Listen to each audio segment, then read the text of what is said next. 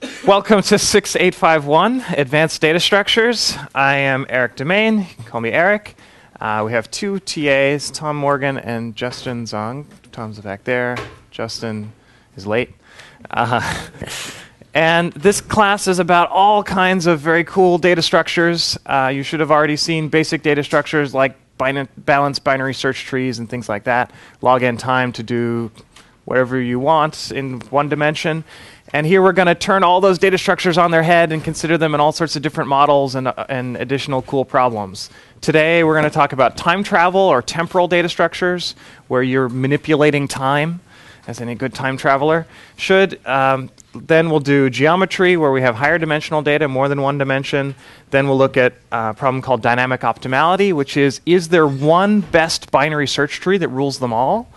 Uh, then we'll look at something called memory hierarchy, which is a, a, way to model more realistic computers, which have cache and then more cache and then main memory and then disk and all these different levels. How do you optimize for that? Uh, hashing is probably the most famous and most popular, most used data structure in computer science. We'll do a little bit on that. Um, integers, when you know that your data is integers and not just arbitrary black boxes that you can compare or do whatever, you can do a lot better with integers, usually beat log n time. Often you can get constant time. For example, if you want to do priority queues, you can do square root log log n time. That's the best known, randomized. Uh, dynamic graphs, you have a graph you want to store, and the edges are being added and maybe deleted. Uh, like you're representing a social network and people are friending and defriending, you want to maintain some interesting information about that graph. Uh, strings, you have a piece of text, such as the entire World Wide Web, and you want to search for a substring, how do you do that efficiently? It's sort of the Google problem, or you're searching through DNA for patterns, whatever.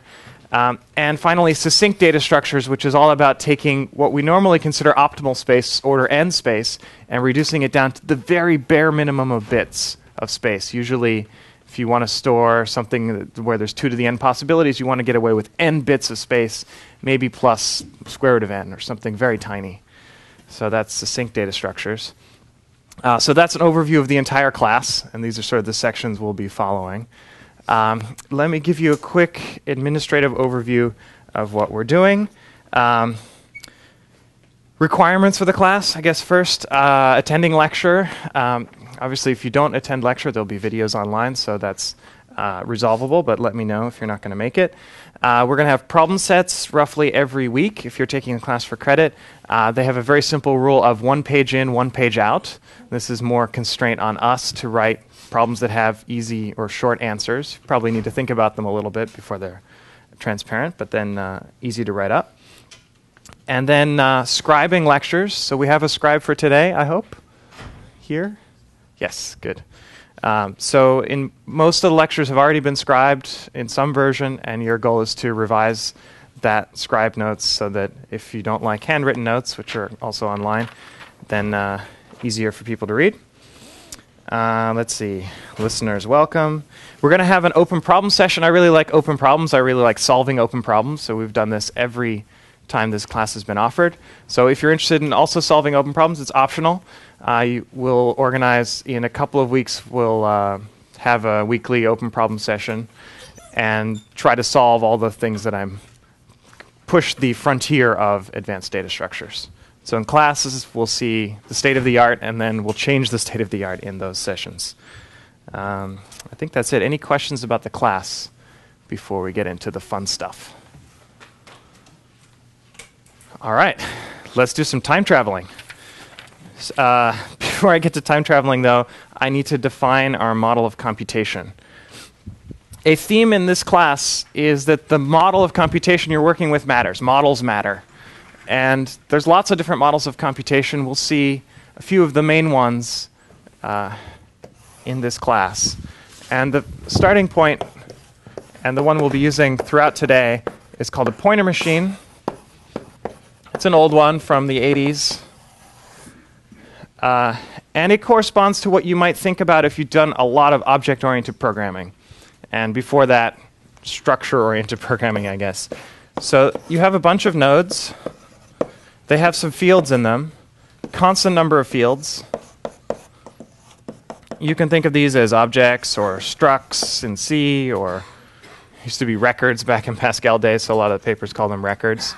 You just have a constant number of fields, you could think of them as numbered, labeled, doesn't really matter because there's only a constant number of them.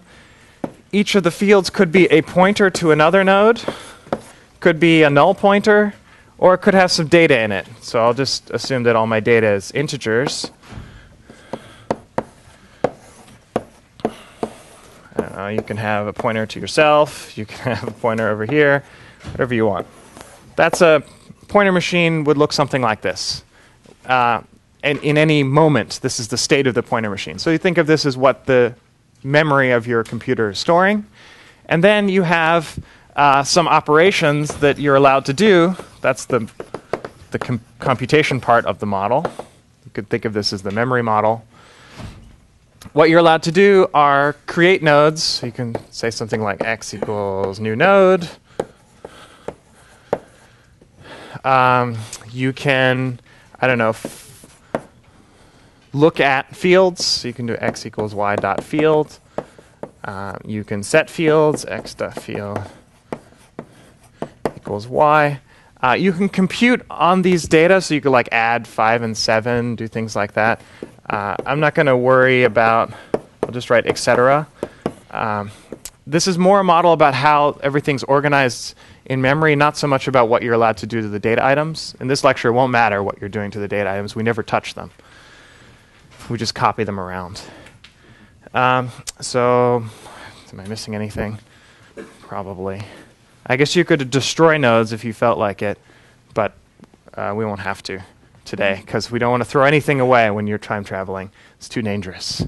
Uh, so, uh, and then the one uh, catch here is what are x and y?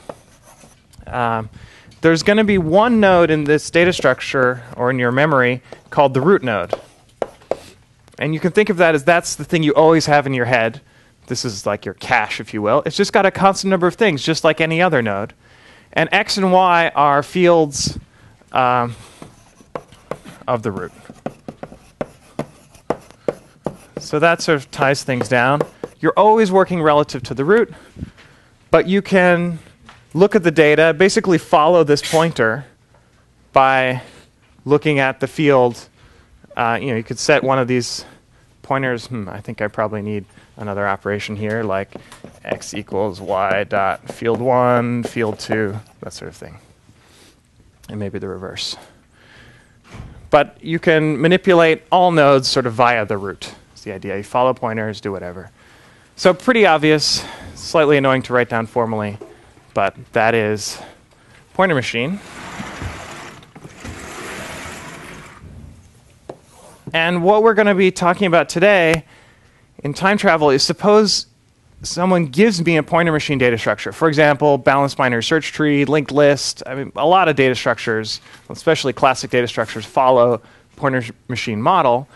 What we'd like to do is transform that data structure and make a new pointer machine data structure that does extra cool things, namely travel through time. So that's uh, what we're going to do. Uh, there's two senses of time travel or temporal data structures that we're going to cover in this class. The one for today is called persistence, where you don't forget anything, like an elephant. And the other one is uh, retroactivity. Uh, persistence will be today, retroactivity is next class. Uh, basically, these correspond to two models of time travel. Persistence is the branching universe time travel model, where if you make a change in the past, you get a new universe. You never destroy old universes. Retroactivity is uh, more like Back to the Future, where you go back, make a change, and then you can return to the present and see what happened. Uh, this is a lot harder to do, and we'll work on that. Next class, persistence is what we will do today. So, persistence.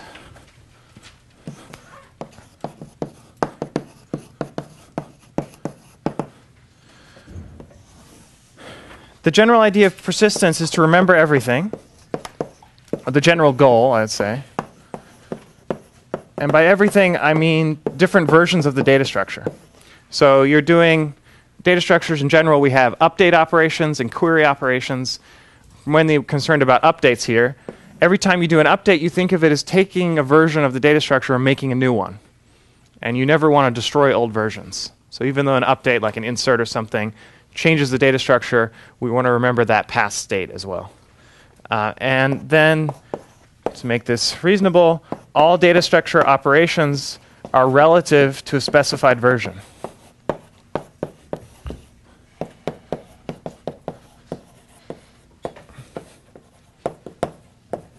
So, uh, an update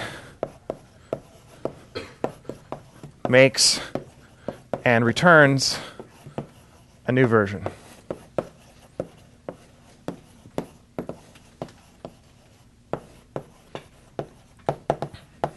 So when you do an insert, you specify an operation, uh, sorry, a version of your data structure and the thing you want to insert, and the output is a new version.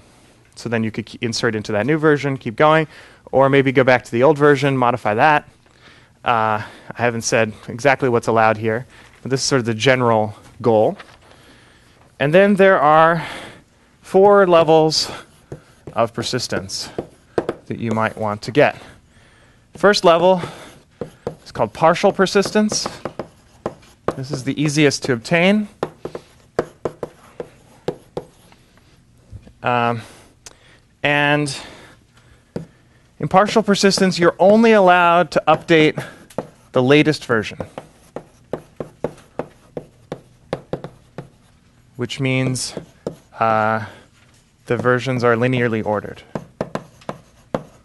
This is the easiest to think about. You know, time travel can easily get confusing. So start simple. We have a timeline, various versions on it. Uh, this is the latest.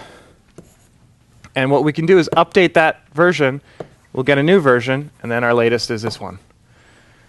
What this allows is looking back at the past to an old version and querying that version. So you can still ask questions about the old version.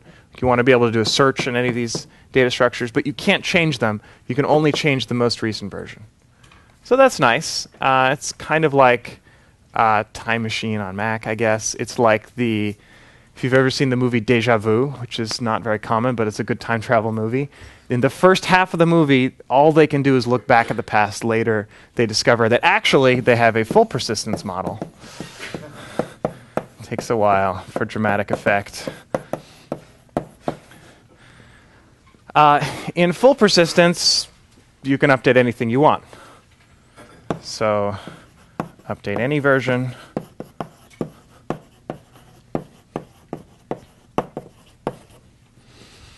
And so then the versions form a tree. Okay, so in this model, maybe you initially have a nice line of versions. But now if I go back to this version and update it, I branch, get a new version here. And then I might keep modifying that version sometimes. Uh, any of these guys can branch. So this is why I call it the branching universe model. When you update, you branch.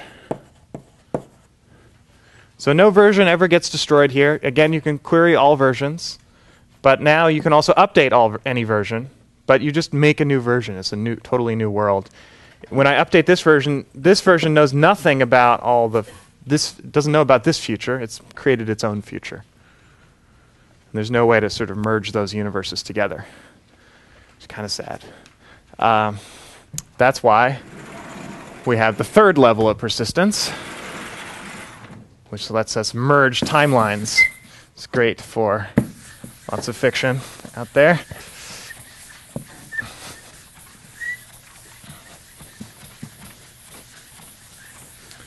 If you've seen the old TV show Sliders, that would be confluent persistence.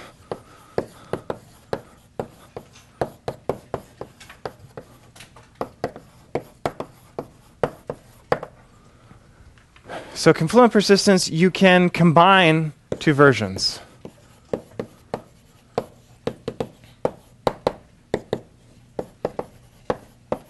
To create a new version.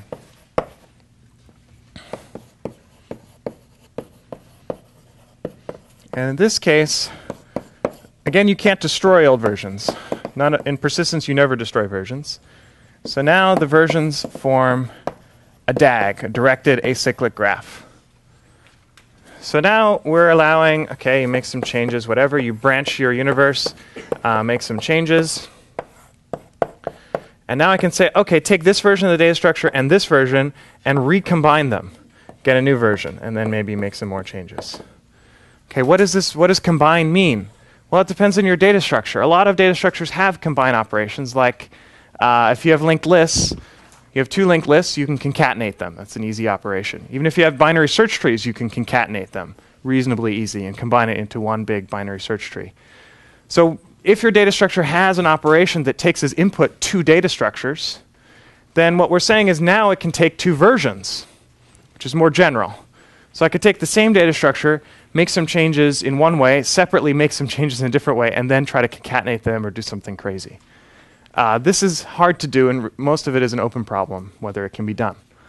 But I'll tell you about it. Then there's another level, even more than confluent persistence.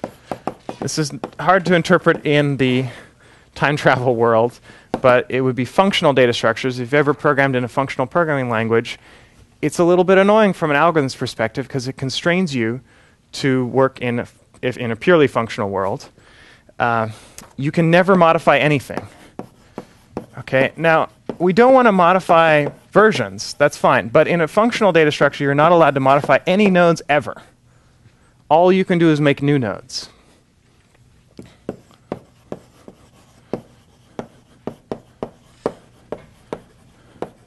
This is constraining, and it's uh, you can't always get optimal running times in the functional world. But if you can get a functional data structure, you have all these things because you can't destroy anything. If you can't destroy nodes, then in particular you can't destroy versions, and all of these things just work for free. And uh, so a bunch of special cases are known, interesting special cases like search trees you can do in the functional world, and that makes all of these things easy. Uh, so the rest of this lecture is going to be general techniques for doing partial full persistence, what we know about confluent, and what we know about functional.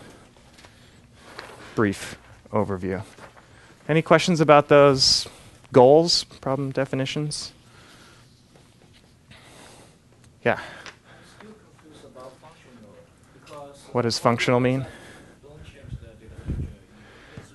Yeah, I guess you'll you'll see what functional looks like all the other things. I agree. Um, you'll see in a moment how we actually implement partial and full persistence. We're going to be changing nodes a lot, as long as we don't, as long as we still represent the same data in the old versions. We don't have to represent it in the same way. That lets us do things more efficiently. Whereas in functional, you have to represent all the old versions in exactly the way you used to represent them. Here we can kind of mangle things around and it makes things faster. Yeah, good question. So that's so it seems almost the same, but it's nodes versus versions. I haven't really defined a version, but it's just that all the queries answer the same way. That's what you need for persistence.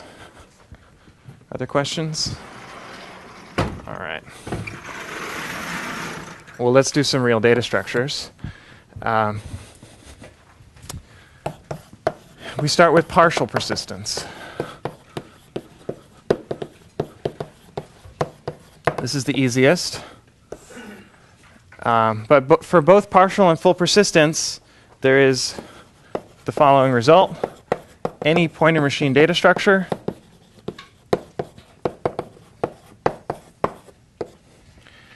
uh, one catch with a constant number of pointers to any node.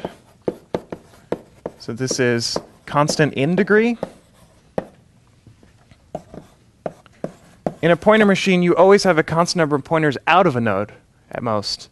But i for this result to hold, we also need a constant number of pointers into any node. So this is an extra constraint. Uh, can be transformed into another data structure that is partially persistent and does all the things it used to do. So I'll just say it can be made partially persistent.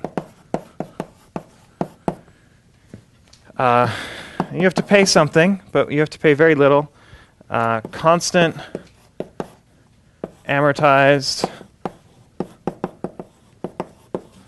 uh, factor overhead, so multiplicative overhead. and uh, constant amount of additive space per change in the data structure. So every time you do a modification in your pointer machine, you set one of the fields to something, you have to store that forever. So, I mean, this is the best you could hope to do. Got to store everything that happened. Uh, pay a constant factor overhead. Eh, we're theoreticians, that doesn't matter. Uh, then you get any data structure in this world can be made partially persistent. So that's nice. Let's prove it.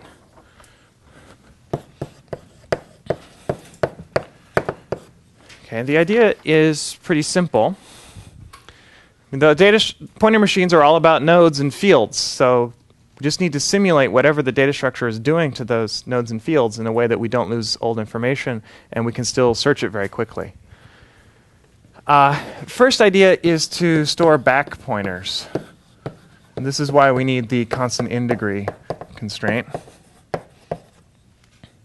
Uh, so if we have a node, how do I want to draw a node here? So I've been drawing, so maybe these are the three fields of the node.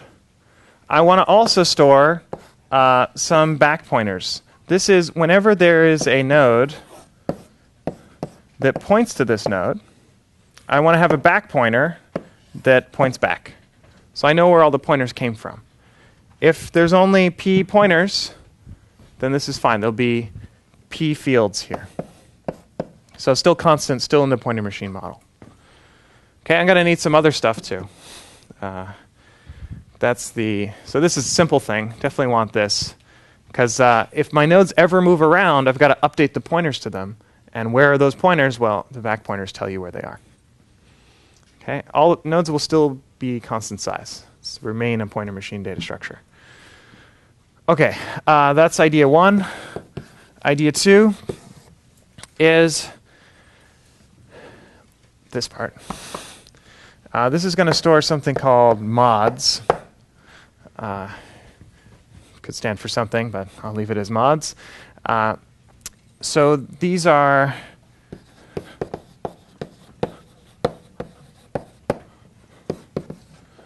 to the fields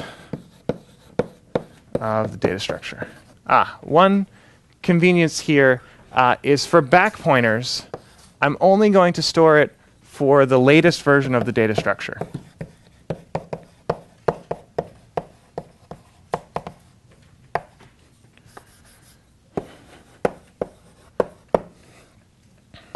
Sorry, I forgot about that. That we'll come back to that later. Um, then the idea is to store these modifications. How many modifications? Uh, let's say up to p, uh, twice p.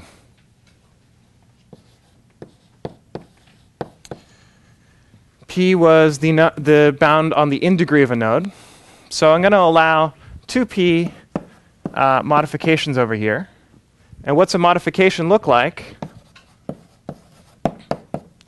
Uh, it's going to consist of three things. Get them in the right order. The version in which something was changed, the field that got changed, and the value it got changed to. Okay, so the idea is that the these are the fields here. We're not going to touch those. Once they're set to something, or I mean, whatever they are initially, they will stay that way. And so instead of actually changing things like we like the data structure normally would, we're just going to add modifications here to say, oh well, at this time this field changed to the value five, uh, and then later on it changed to the value seven, and then later on this one changed to, to the value 23, whatever. Okay, so that's what they'll look like. Uh, there's a limit to how many, we can only store a constant number of mods to each node, and our constant will be 2p. Okay, those are the ideas, and now it's just a matter of making this all work and analyzing that it's constant amortized overhead. So, uh, first thing is if you want to read a field,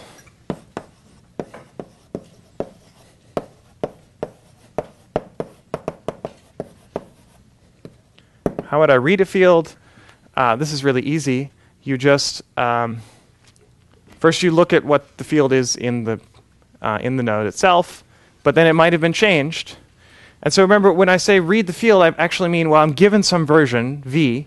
I want to know what is the value of this field at version v, because I want to be able to re- I want to be able to look at any of the old data structures too. So this would be at version v. I just look through all the modifications. There's constantly many, so it takes constant time to just flip through them and say, well, what changes have happened up to version v? So I look at uh, mods with uh, version less than or equal to v. That will be all the changes that happened up to this point. I see did this field change? I look at the latest one. That will be how I read the field of the node. So constant time. There's lots of ways to make this efficient in practice, but for our purposes, it doesn't matter. It's constant. The hard part is how do you change a field? Because there might not be any room in the mod structure.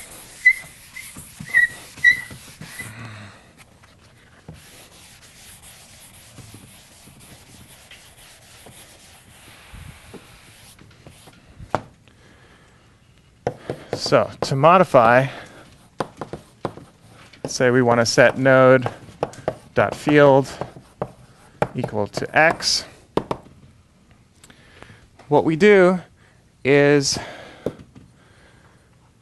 first we check is there any space in the mod structure? If there's any blank mods, so if the node is not full, we just add a mod. So mod will look like now field x. Just throw that in there. Because right at this moment, so we maintain a time counter, just increment it every time we do a change. Um, this field changed to that value. So that's the easy case. The trouble, of course, is if the node is full. The moment you've all been waiting for. So what we're going to do here is make a new node. We've ran out of space. So we need to make a new node. We're not going to touch the old node, just going to let it sit. It still maintains all those old versions. Now we want a new node that represents the new, the latest and greatest of this node. Okay, so make a new node.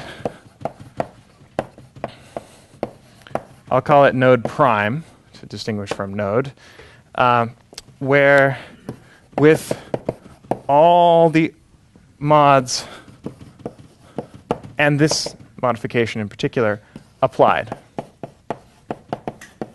Okay, so we make a new version of this node. It's going to have some different fields, whatever was the latest version represented by those mods. Uh, it's still going to have back pointers, so we still we have to maintain all those back pointers. Uh, and now the mods initially is going to be empty because we just applied them all. So this new node doesn't have any recent mods. Old node represents the old versions. This node is going to represent the new versions. What's wrong with this picture? Update pointers. Yeah, there's pointers to the old version of the node, which are fine for the old versions of the data structure, but for the latest version of the data structure, this, this node has moved to this new location. So if there are any old pointers to that node, we've got to update them in the current version. We have to update them to point to this node instead. The old versions are fine, but the new version is in trouble. Other questions? Uh, all the same answer. Yeah. So how would you read if you wanted to read an old version, but you just have like the, the note, like the new version in hand? You still have sort of a back pointer to say. Okay. Ha- this version, to question is essentially how do we hold on to versions? Um, essentially, you can think of a version of the data structure as where the root node is. That's probably the easiest. I mean, in general, we're representing versions by a number v, uh, but we always start at the root. And so you start at the, you're given the data structure, which is represented by the root node, and you say, uh, search for the value five. Is it in this binary search tree or whatever? Um, and then you just start navigating from the root, but you know I'm in version a million or whatever. I, I have, I know what version I'm looking for. So you start with the root, which uh, never changes, let's say. Uh, and then you follow pointers that essentially tell you for that version where you should be going. I guess at the root version, it's a little trickier. Uh, you probably want a little array that says for this version, here's the root node. But that's a special case. Yeah, another question? Um, so uh, in the new node that you created, the, the, the, new, the fields that you've copied, you also, you also have to have a version for them, right? Because different fields might be a different version? Uh, these here we're versioning the whole node. These the original field values represent what was originally there, whenever this node was created. Then the mods specify what time the fields changed. So we, I don't think we need times here. All right. So we've got to update two kinds of pointers. There's regular pointers which live in the fields, which are things pointing to the node. But then there's also back pointers because if this if this is a pointer to a node, then there'll be a back pointer back to the node, and the, all of those have to change. Uh, conveniently, the back pointers are easy.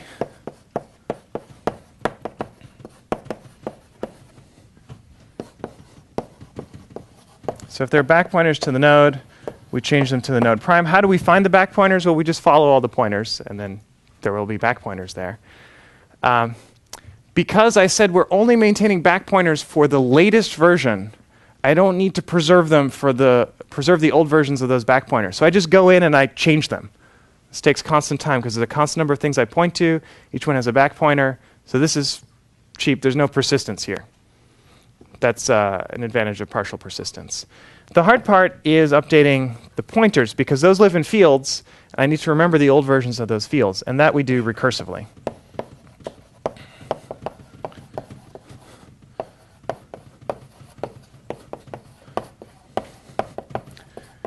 Because to change those pointers, that's a field update. That's something exactly of this form. So that's the same operation, but on a different node. So I just do that. I claim this is good. That's the end of the algorithm. Now we need to analyze it.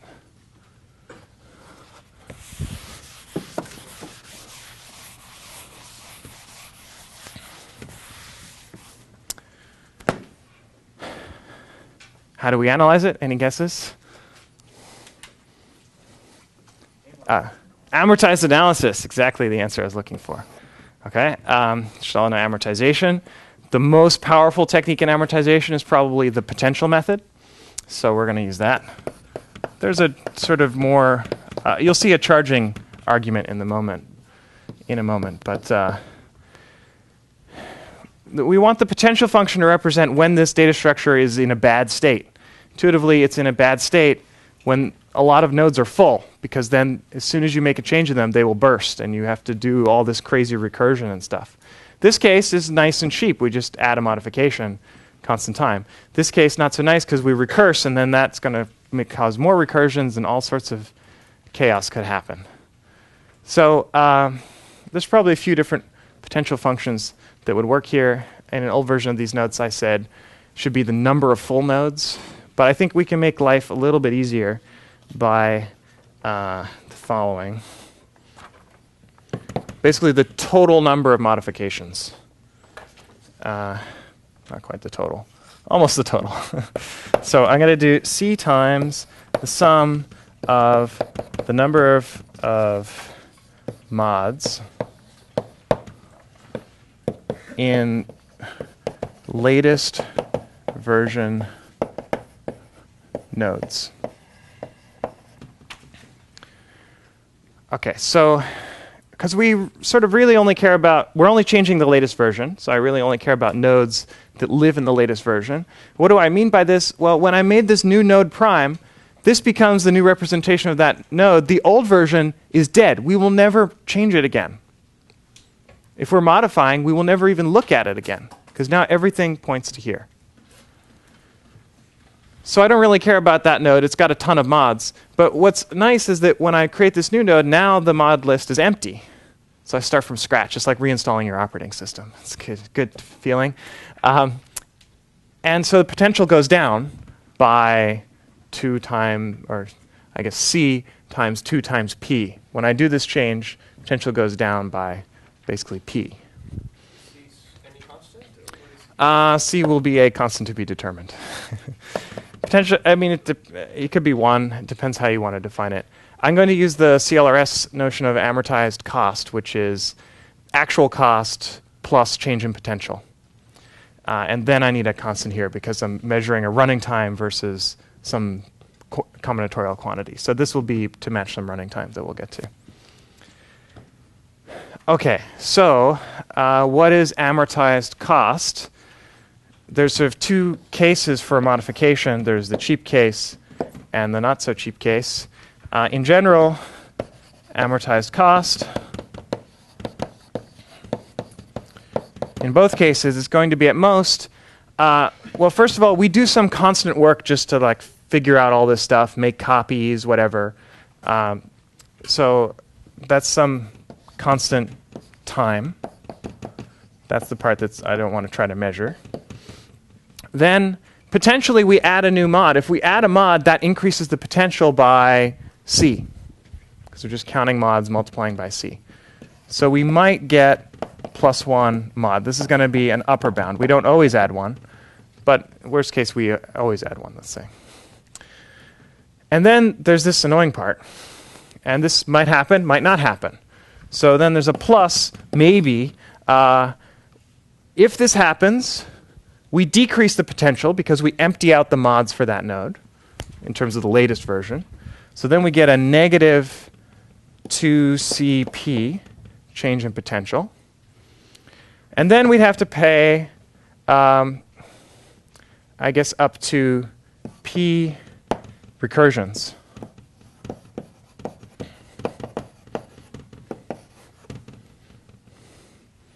Because we have to, how many pointers are there to me? Well, at most P of them, because there are at most P back pointers, or sorry, at most P pointers to any node. Okay? This is kind of a weird, it's not exactly algebra here. I have this thing, recursions. Um, but if you think about how this would expand, all right, this is constant time. That's good. And then if we do this, I'll put a, a question mark here. It might be here, it might not. If it's not here, fine, constant. If it is here, then this gets expanded into this thing.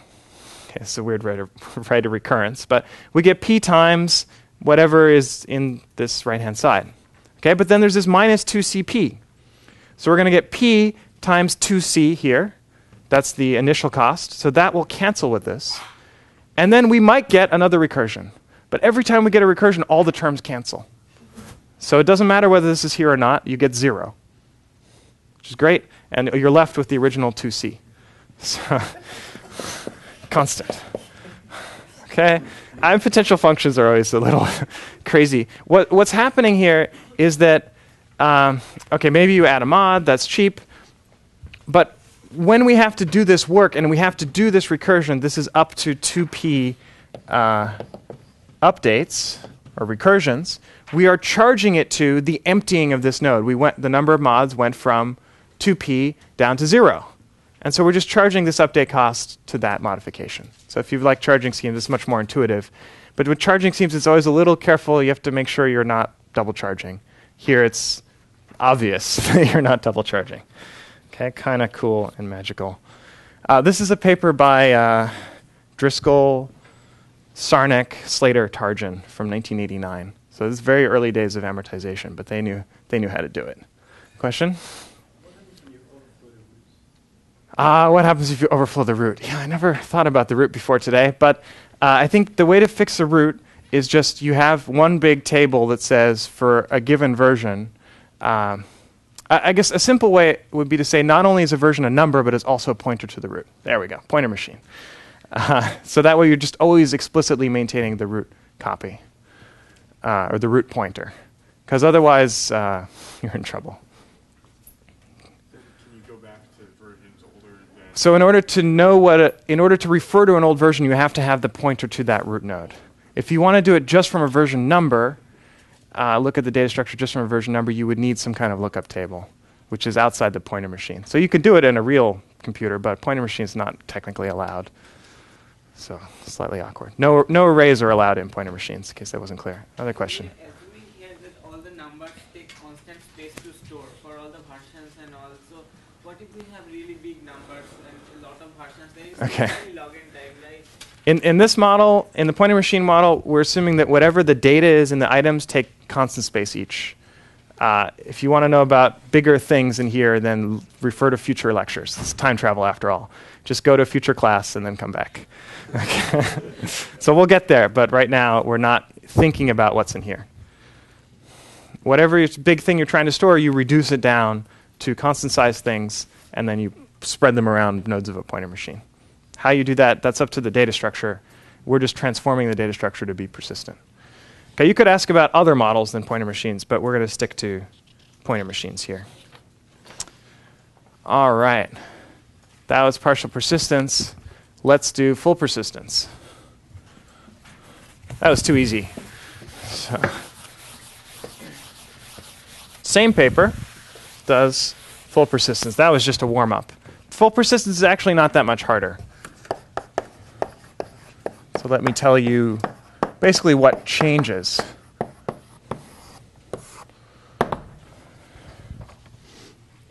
Uh, there are two issues. One is that everything here has to change. Uh, not by much. We're still going to use back pointers, still going to have mods. The number of mods is going to be slightly different, but basically the same. Uh, back pointers no longer just refer to the latest version. We have to maintain back pointers in all versions. So that's annoying, but hey, it's life. The amortization, of the potential function will change slightly, but basically not much. The other issue is that versions, sort of the bigger issue you might first wonder about, and it's actually the most challenging technically, is versions are no longer numbers because it's not a line.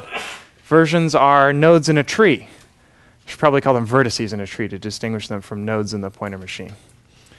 Okay, so you've got this tree of versions, and then versions are just some point on that on that tree. Uh, this is annoying because we like lines, we don't like trees as much. So what we're going to do is linearize the tree. Like when in doubt, cheat.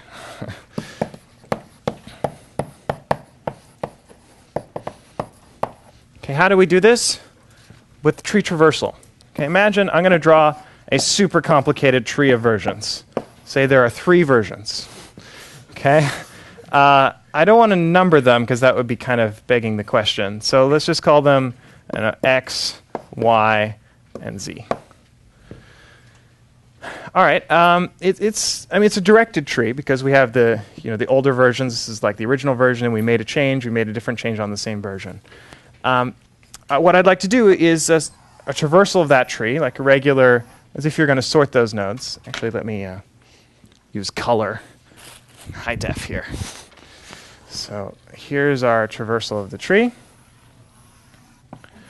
Uh, and I want to look at the first and the last time I visit each node. So I, here's the first time I visit x. So I'll write the, this is the beginning of x. Sorry, capital X. Uh, then this is the first time I visit y, so it's beginning of y. And then this is the last time I visit y, so it's the end of y. And then, don't care. Then this is the beginning of z. And this is the end of z. And then this is the end of x. If I write those sequentially, I get bx, by, ey, bz, ez, because this is so easy, uh, ex. Okay, you can think of these as parentheses, right? For whatever reason, I chose b and e for beginning and ending, but it's like open parens, close parens. This is easy to do in linear time. I think you all know how. Uh, except it's not a static problem. Versions are changing all the time. We're adding versions. We're never deleting versions, but we're always adding stuff to here. It's a little awkward, but the idea is I want to maintain this order. Maintain uh, the begin and the end of each, you might say, subtree of versions.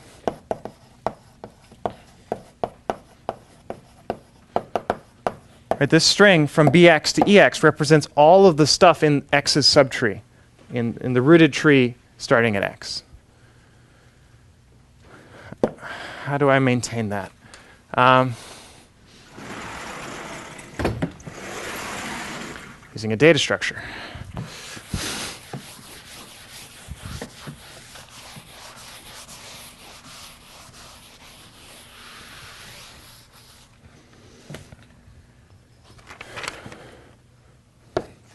So we're going to use something, a data structure we haven't yet seen. Uh, it will be in lecture 8. This is a time travel data structure, so I'm allowed to do that. So order maintenance data structure. You can think of this as a magical linked list. Let me tell you what the magical linked list can do. You can insert. Uh, I'm going to call it an item because node would be kind of confusing given where we are right now.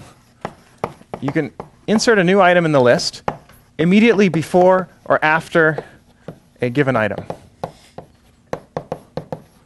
Okay, this is like a regular linked list. I can, you know, here's a regular linked list, right? And if I'm given a particular item like this one, I can say, well, insert a new item right here.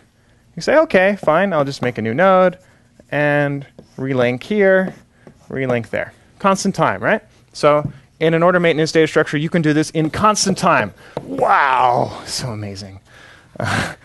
okay, catch is the second operation you can do. Uh, maybe I'll number these. This is the update. Then there's the query. The query is what is the relative order of two nodes, of two items, x and y. So I, now I give you this node and this node, and I say which is to the left, which is earlier in the order. I want to know is x basically less than y in terms of the order in the list, or is y less than x? And an order maintenance data structure can do this in constant time. Now it doesn't look like your mother's linked list, I guess. It's not the linked list you learned in school, it's a magical linked list that can somehow answer these queries. How? Go to lecture 7. Okay, forward reference. Lecture 8, sorry.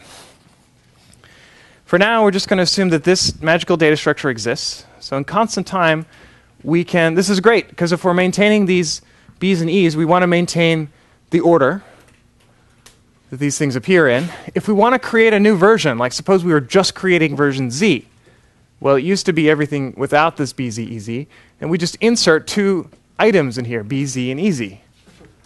They're right next to each other, and if we were given version X, we could just say, oh, well, look at EX, and insert two items right before it. Or you could put them right after BX. I mean, there's no actual order here, so it could have been Y first and then Z, or Z first and then Y. So it's really easy to add a new version in constant time. You just do two of these insert operations. And now you have this magical order operation, which if I'm given two versions, uh, I don't know, V and W, and I want to know is V an ancestor of W, now I can do it in constant time. So this lets me do a, th- a third operation, which is uh, is version V an ancestor of version W. Because that's going to be true if and only if BV is an EV nest around BW and EW. Okay, so that's just three tests. They're probably not all even necessary. This one always holds. But if, uh, if these guys fit in between these guys, then you know now what this tells us, right? What we care about here is uh, reading fields. When we read a field, we said, oh, we'll do all, apply all the modifications that apply to version V. Before, that was a linear order, so it's just all versions less than or equal to V. Now, it's all versions that are ancestors of V. Given a mod, we need to know, does this mod apply to my version? And now I tell you, I can do that in constant time with through magic. I just test these order uh, relations. If they hold, then that mod applies to my version. So uh, W is the version we're testing. V is some version in the mod. I want to know, am I a descendant of that version? If so, the mod applies, and I update what the field is. I can do all pairwise ancestor checks and figure out what is the most recent version in my ancestor history that modified a given field. That lets me read a field in constant time. Constants are getting kind of big at this point, but can be done. Clear? A little bit of a black box here, but now uh, we've gotten as far as reading. And we don't need to change much else. So this is good news.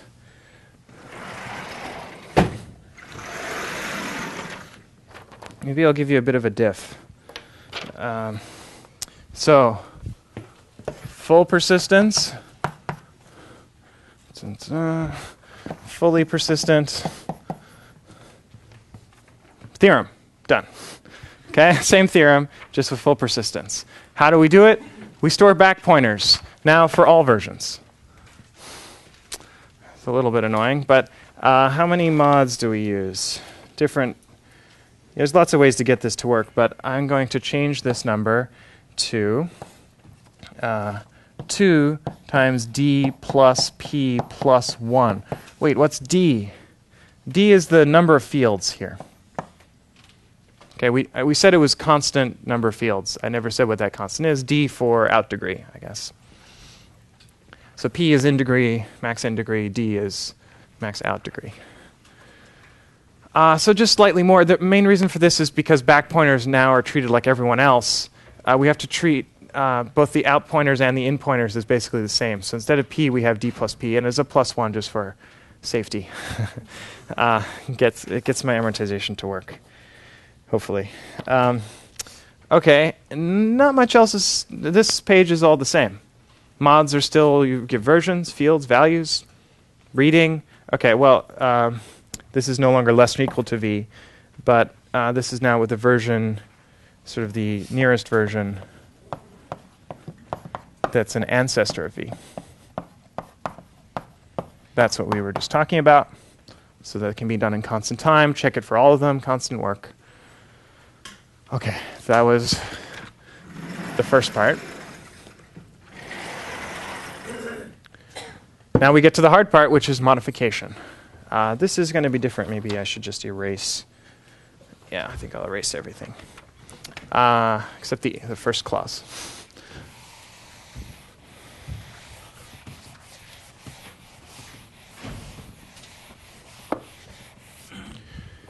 Okay, if a node is not full, we'll just add a mod, just like before. What changes is when a node is full. Here we have to do something completely different.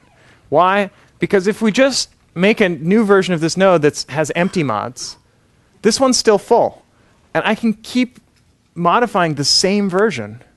This, this new node that I just erased represents some new version. But if I keep modifying an old version, which I can do in full persistence, this node keeps being full, and I keep paying potentially huge cost. If all the nodes were full, and when I make this change, every node gets copied, and then I make a change to the same version, every node gets copied again. This is going to take linear time per operation. So I can't do the old strategy. I need to somehow make this node less full. This is where we're definitely not functional. None of this was functional, but now we're gonna, I'm going to change an old node, not just make a new one um, in a more drastic way. Before I was adding a mod, that's not a functional operation. Now I'm actually going to remove mods from a node to rebalance. So what I'd like to do is split the node into two halves. Okay, so I had some big node that was draw it, completely full. Now I'm going to make two nodes yeah. Uh, and this one's going to be half full. This one's going to be half full of mods. Okay, uh, the only question left is what do I do with all these things? Uh, basically, what I'd like to do is have the, uh, on the one hand, I want to have the old node. It's just where it used to be. I've just removed half of the mods the second half, the later half. What does that mean? I don't know. Figure it out. uh, it's linearized. I haven't thought deeply about that. Now we're going to make a new node with the second half of the mods. Ah, this is more painful than I thought. In reality, these mods represent a tree of modifications, and what you need to do is find a partition of that tree into two roughly equal halves. Uh, you can actually do a one third, two third splits. That's also in a future lecture, which whose number I forget. Um, so really, you're splitting this tree into two roughly balanced halves. And so this two might actually need to change to a three, but it's a constant. Okay, so there's some. What I want is for this to represent a subtree of versions. Let me draw the picture. So here's a tree of versions represented by the old mods. I'd like to cut out a subtree rooted at some node So this, let's just assume for now, uh, this has exactly half the nodes, and this has half the nodes. In reality, I think it can be one third, two thirds. Okay, but let's keep it convenient. So I want the new node to represent this subtree, and this node to represent everything else. This node is as if this stuff hasn't happened yet. I mean, so it represents all these old versions that do not, that are not in the subtree. This represents all the latest stuff. So what I'm going to do is, like before, I want to apply some, some mods to these fields. And I do whatever mods were relevant at this point, whatever had been applied, I apply those to the fields here. And so that means I can remove all of these mods. Uh, I only cared about these ones. Update these fields accordingly. I still have the other mods to represent all the other changes that could be in that subtree. Okay, so we have we actually uh, split the tree, and we apply mods to the new node. Um, anything else I need to say? Oh, now we need to update pointers. That's always the fun part. So let's go over here.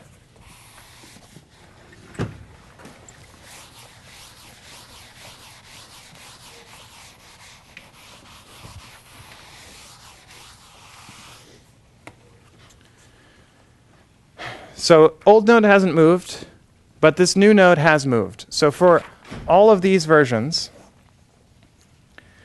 I want to change the pointer that used to point to old node should now point to new node.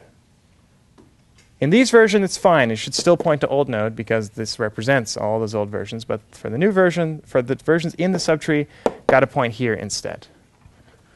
Okay, so how many versions, how many pointers could there be to this node that need to change? That's a tricky part in this analysis. Think about it for a while. Um, if you think about this, I mean, it's really in this new node, whatever is pointed to by either here or here in the new node also has a return pointer. All pointers are bidirectional, so we don't really care about whether they're forward or backward. How many pointers are there here? Well, there's uh, you know D here and there's P here, but then there's also some additional pointers represented over here. How many? Uh, well, if we assume this magical 50-50 split, uh, there's right now D plus P plus 1 mods over here, half of them. Each of them might be a pointer to some other place which has a return pointer in that version. So number of back pointers that we need to update is going to be this 2 times d, 2 times p plus 1. So recursively update at most d 2 times d plus 2 times p plus 1 pointers to the node.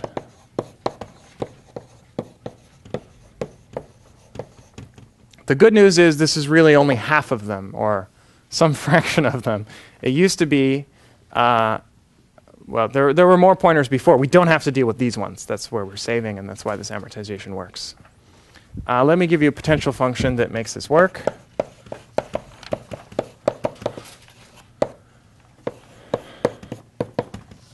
Is minus c times sum of the number of empty mod slots. It's kind of the same potential, but before we had this notion of dead and alive nodes, now everything's alive because everything could change at any moment. So instead, I'm going to measure uh, essentially how much room I have in each node. Before I had no room in this node, now I have half the space in both nodes. So that's good news. Um, whenever we have this recursion, we can charge it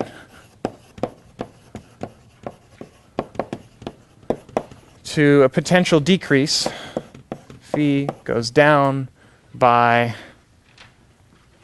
because I have a negative sign here, C times, oh man, 2 times D plus P plus 1, I think. Because there's d plus p plus 1 space here, d plus p plus 1 space here. I mean, we added one whole new node, and the total capacity of a node in mods is 2 times d plus p plus 1. So we get that times c. And this is basically just enough, uh, because this is 2 times d plus 2 times p plus 2, and here we have a plus 1. And so uh, the recursion gets annihilated by 2 times d plus 2 times p plus 1. And then there's one c left over to absorb whatever constant cost there was to do all this other work. So I got the constants just, just to work. Um, except that I cheated and it's really a one third, two thirds split, so probably all these constants have to change. Uh, such is life. But I think you get the idea. Any questions about full persistence? This is fun stuff. Time travel. Yeah. So in the first half of the thing where the if there's room you can put it in. Right. I have a question about how we represent the version because before when we said we store now field and value, it, ma- it made more sense if now was like a timestamp or something. Okay. Right. So how do we represent a version, even here or anywhere, when we when we do a mo- modification, an update in the data structure, we want to return the new version. Um, basically, that we're going to actually store the DAG of versions, and a version is going to be represented by a pointer into this DAG. One of the nodes in this DAG becomes a version. Every uh, node in this DAG is going to store a pointer to the corresponding B character and the corresponding E character in this data structure which then lets you do anything you want. Then you can query against that version whether it's an ancestor of another version. So yeah, I didn't mention that. Versions are nodes in here. Nodes in here have pointers to the B's and E's, and vice versa. The B's and E's have pointers back to the corresponding version node, and then you can keep track of everything. Good question. Yeah. Remind D is again? Oh, D was the maximum out degree. It's the number of fields in a node. Yeah, as defined right here. Other questions? Okay, a little breather. That was partial persistence, full persistence. This is unfortunately the end of the really good results. Uh, as long as we had constant degree nodes, in and out degree, we can do all we can do full persistence for free. Obviously, there are practical constants involved here, but in theory, you can do this perfectly. Uh, there's uh, before we go on to confluence, there's one positive result, which is what if you don't like amortized bounds? There are various reasons amortized bounds might not be good. Maybe you really care about every operation being uh, no slower than it was, except by a constant factor. We're amortizing here, so some operations get really slow, but the others are all fast to compensate. Um, you can deamortize. It's called. You can get uh, constant, worst case, uh, slowdown for partial persistence. This is a result of Gerth Brodal from the late 90s, 97. Um, for full persistence, though, it's an open problem. I don't know if people have worked on that.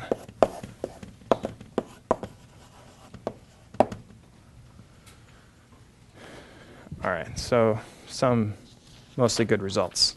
Let's move on to confluent persistence, where things get a lot more challenging.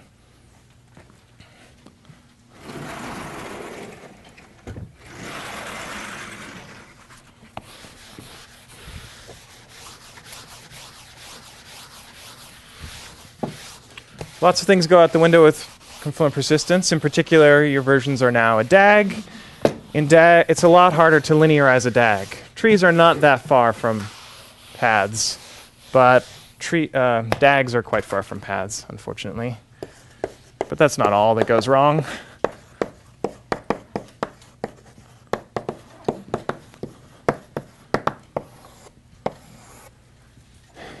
Let me first tell you uh, the kind of end effect as a user. Imagine you have a data structure, it maintains, uh, think of it as a, a list, I guess, which is a list of characters in your document. You're using VI or Word, favorite, whatever. It's a text editor. Uh, you've got a string of words. And now you like to do things like copy and paste. It's a nice operation. So you select an interval of, of the string, and you copy it, and then you paste it somewhere else. So now you've got two copies of that string. Um, this is, in some sense, what you might call a confluent operation because, uh, yeah, maybe a, a cleaner way to think of it is the following You have your string. Now I have an operation which is split it. So now I have two strings. Okay, now I have an operation which is split it. Now I have three strings. Okay, now I have an operation which is concatenate. So I can, for example, reconstruct the original string. Well, actually, I have the original string. No biggie.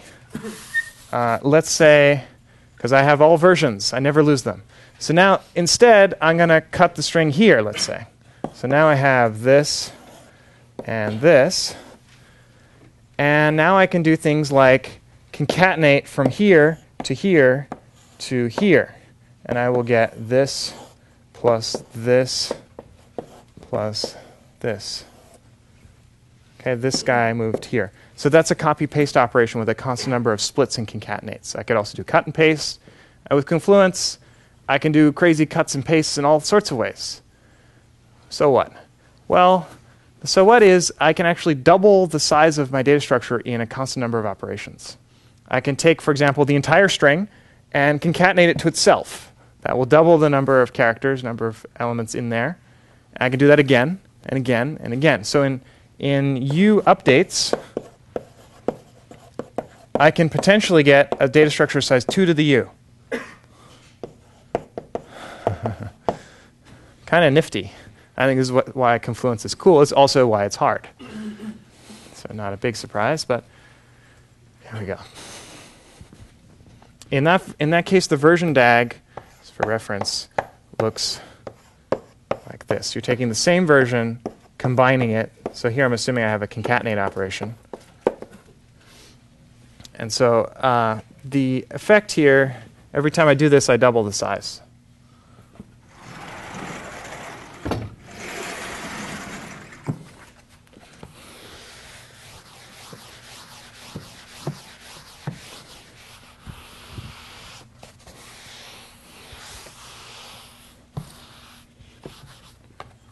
All right, what do I want to say about confluent persistence? All right, let me start with the most general result, which is by Fiat and Kaplan 2003.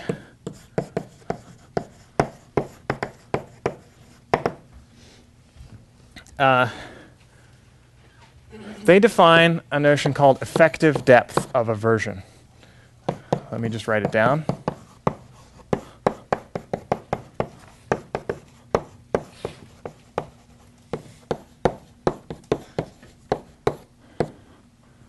It's kind of like if you took this DAG and expanded it out to be a tree of all possible paths. Right? Instead of having instead of pointing to the same node, you could just duplicate that node and then have pointers left and right. Okay, so if I did that, of course, the size grows exponentially. It explicitly represents the size of my data structure. At the bottom, if I have u things, I'm going to have 2 to the u leaves at the bottom. So, but then I can easily measure the number of paths from the root to the same version. At the bottom, I still label it, oh, those are all v. They're all the same version down there. So exponential number of paths, if I take log, I get what I call effective depth. It's like if you somehow could rebalance that tree, uh, this is the best you could hope to do. It's not really a lower bound, but it's a number. It's a thing. Okay? Uh, then the result they achieve is that the overhead is log the number of updates plus this is a multiplicative overhead. So you take your running time, you multiply it by this. And this is a time and a space overhead. So maximum effective depth of all versions, maybe even sum of effective depths, but let's just say max to be safe. Uh, well, I, sorry. So if you sum over all the operations, this is per operation. You pay basically the effective depth of that operation as a factor. Now, the annoying thing is if you have this kind of setup where you where the size grew exponentially, then the number of paths is exponential, log of the number of paths is linear in U. And so this factor could be as much as U, linear slowdown. Now, Fiat and Kaplan argue linear slowdown is not that bad because if you weren't even persistent, if you did this in the naive way of just recopying the data, uh, you're actually spending exponential time to build the final data structure. It has exponential size. Just to represent it explicitly requires exponential time. So losing a linear factor to do u operations is now u squared time instead of 2 to the u. So it's a big improvement to do this. Uh, the downside of this approach is that even if, if you have a, a version DAG that looks like this, even if the size of the data structure is staying normal, staying linear, so this potentially you could be doubling the size, but we don't know what this merge operation is. Maybe it just throws away one of the versions or does something. Uh, somehow takes half the nodes from one side, half the nodes from the other side. Maybe these operations do preserve size. Then there's no great reason why it should be a linear slowdown, but it is. Okay, so it's it's somewhere it's all right, but not great. Um, and it's the best general result we know. They also prove a lower bound.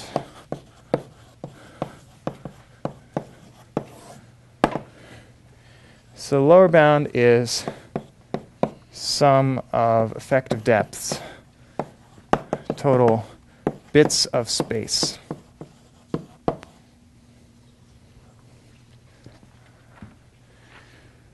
Okay, what does this mean? Um, so even if this is not happening, the number of bits of space you need, in the worst case, this does not apply to every data structure. That's one catch. They give a specific data structure where you need this much space. So it's similar to this kind of picture. Won't go into the details. Uh, and you need this much space. Now, this is kind of bad because if there's u operations and each of these is u, that's u squared space. So we actually need a factor u blow up in space, looks like. Uh, but to be more precise, what this means is that you need omega e of v space and therefore time uh, overhead uh, per update if, this is not written in the paper, queries are free. Implicit here, they, they just want to lose, they just want to slow down and increase space for the updates you do, which is pretty natural. Normally, you think of queries as not increasing space. But in order to construct this lower bound, they actually do this many queries. So they do E of V queries and then one update. And they say, oh, well, the space had to go up by an extra E of V. So if we charge it, if you only charge updates for the space, then yes, you have to lose potentially a linear factor, this effective depth, potentially U. But if you also charge the queries, it's still constant in their example. So open question for confluent persistence, can you achieve constant everything? Constant time and space overheads, multiplicative factor, uh, per operation, both updates and queries. So if you charge the queries, potentially you could get constant everything. This is a relatively new realization. Um, and so and no one knows how to do this yet.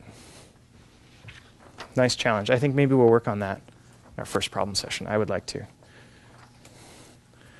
Questions about that result? I'm not going to prove the result, but it is fancy rebalancing of those kinds of pictures to get uh, this log.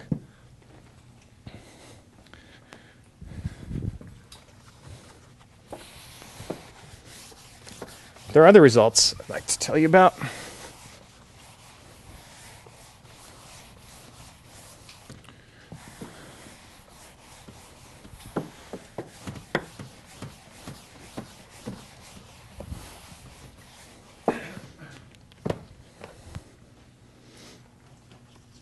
Uh, so, brand new result. That was from 2003. This is from 2012. No, 11. 11, sorry. It's, it's SODA, which is in January, so a little confusing. Is it 11? Maybe 12. Actually, now I'm not sure. It's February already, right? A, a January, either this year or last year. It's not as general a transformation. It's only going to hold in what's called a disjoint case, but it gets a very good bound. Not quite constant, but logarithmic. Okay, logarithmic would also be nice. Or log, log n, whatever n is. So pick your favorite n. Number of operations, say. Okay. Um, if you assume that confluent operations are performed only on two versions with no shared nodes. Okay, this would be a way to forbid this kind of behavior where I concatenate the data structure with itself. All the nodes are common. If, so, if I guarantee that maybe I you know, slice this up, slice it, dice it, whatever, and then remerge them in some other order, but I never use two copies of the same piece, that would be a valid confluent operation over here. This is quite a strong restriction that you're not allowed. You, it won't even, if you try to, it'll, who knows what happens. Behavior is undefined. So it won't tell you, oh, those two versions have this node in common, you've got to make a second copy of it. So somehow you have to guarantee that confluent operations never overlap, but they can be reordered. Uh, then you can get order log n overhead n is the number of operations. Uh, I have a sketch of a proof of this, but not very much time to talk about it. All right, let me give you a quick picture. Uh, in general, the versions form a DAG. But if you make this assumption and you look at a single node and look at all the versions where that node appears, that is a tree because you're not allowed to remerge versions that have the same node. So while the big picture is a DAG, uh, the small picture of a single guy is some tree. Okay, I'm drawing all these wiggly lines because there are all these versions where the node isn't changing. This is the entire version DAG. And then some of these nodes, uh, that node is, some of these versions, I should say, that node that we're thinking about changes. Okay, whenever it branches, that's probably because the actual node changed, maybe. I don't know. Anyway, there are some dots here where the version changed. Some of the leaves maybe it changed, maybe some of them hasn't yet. Um, in fact, uh, let's see. Here, where it's changed, it could be that we destroyed the node. Maybe it's gone from the, from the actual data structure. Um, but there still may be versions down here. There could be, it's not really a tree, it's a whole DAG of stuff down there. So that's kind of ugly. Uh, whenever the node still exists, I guess that is an actual leaf of the DAG, so those are okay. But as soon as I maybe delete that node, then there can be a whole subtree down there. Okay, so now if you look at an arbitrary version, uh, so what we're thinking about is how to implement reading, let's say. Reading and writing are more or less the same. I give you a version, I give you a node, and I give you a field. I want to know what is the value of that field, that node, at that version. So now, where could a version fall? Well, it has to be in this subtree because uh, the node has to exist. Um, and then it's maybe a pointer. The pointer could be to uh, it's to another node, which also has this kind of picture. That could be overlapping trees. In general, there are three cases. Either you're lucky, and the version you're talking about is a version where the node was changed. In that case, um, the data is just stored right there. That's easy. So you can just say, oh, how did the node change? Oh, that's what the field is. Okay, follow the pointer. Uh, a slightly harder case is it's a version in between two such changes, and maybe these are not updates. So uh, I need to know among, I sort of want to know what was the previous version where this node changed in constant time. It can be done, uh, not constant time, actually, logarithmic time, using a data structure called link cut trees. Another fun black box for now, which we will cover in lecture 19, far in the future. Okay. Um, then, well, that's one case. There's also the version where uh, maybe a version is down here in a subtree. I guess then the node didn't exist. But, uh, well, all these things can happen, and that's even harder. It's messy. Uh, they use another trick, which is called fractional cascading, uh, which I'm not even going to try to describe what it means, but it's got a very cool name. Uh, because we'll be covering it in lecture three. So stay tuned for that. I'm not going to say how it applies to this setting, but uh, it, it's a necessary step in here. In the remaining zero minutes, let me tell you a little bit about functional data structures. So, beauty of time travel. Um, functional. I just want to give you some examples of things that can be done functionally. There's a whole book about functional data structures by Okasaki. That's pretty cool. Uh, a simple example is balanced BSTs. So if you just want to get log n time for everything, you can do that functionally. It's actually really easy. You pick your favorite balanced BST, like red black trees. You implement it top down, so you never follow parent pointers. So you don't need parent pointers. So then, uh, you, as you make changes down the, the tree, you just uh, copy. It's called path copying. Whenever you're about to make a change, make a copy of that node. So you end up changing all the, you copy all the change nodes and all their ancestors. There's only log n of them, so it takes log n time. Clear? Easy. Uh, it's, it's a nice technique. Sometimes path copying is very useful, like link cut trees, for example, can be made functional. We don't know what they are, but they're basically a balanced BST, and you can make them functional. We use that in a paper. Uh, all right, deques. These are doubly ended queues, so it's like a stack and a queue and everything. You can insert and delete from the beginning and the end. People start to know what these are now, because uh, Python calls them that. But you can also do concatenation with deques in constant time per operation. This is cool. deques are not very hard to make functional, but you can do deques and you can concatenate them like we were doing in the figure that's right behind this board. Uh, constant time. Split is a little harder. That's actually one of my open problems. Can you do uh, lists with split and concatenate in constant time? Functionally or confluently, persistently, or whatever. Another example, oh, you can do a mix of the two. You can get log n search in constant time deque operations, uh, is you can do tries. So a trie is a tree with a fixed topology. Think of it as a directory tree. So maybe you're using Subversion. Subversion has time travel operations. You can copy an entire subtree from one version and stick it into uh, a new version, another version. So you get a version DAG. It's a confluently persistent data structure. Not implemented optimally, because we don't necessarily know how, but there's one paper uh, this actually came from an, the open problem session of this class four years ago, I think. It's with Eric Price and Stefan Langerman. Um, you can get very good results. I won't write them down because it takes a while. Basically, log the degree of the node's factor and get functional, and you can be even fancier and get slightly better bounds like log log the degree and get confluently persistent uh, with various tricks, including using all of these data structures. So, if you want to implement subversion optimally, that is known how to be done, but hasn't actually been done yet because there are those pesky constant factors. Um, I think that's all. Uh, what is known about functional is there's a log n separation.